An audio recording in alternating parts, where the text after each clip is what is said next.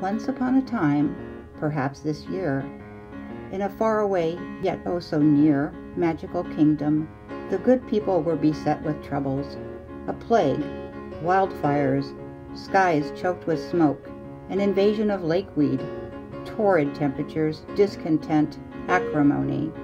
Let's just say it was not the best of times. But the witches and good people of our magical kingdom would not be dispirited. They gathered together under the blue full moon for a witch's ride, and they cast a spell of joy upon the land.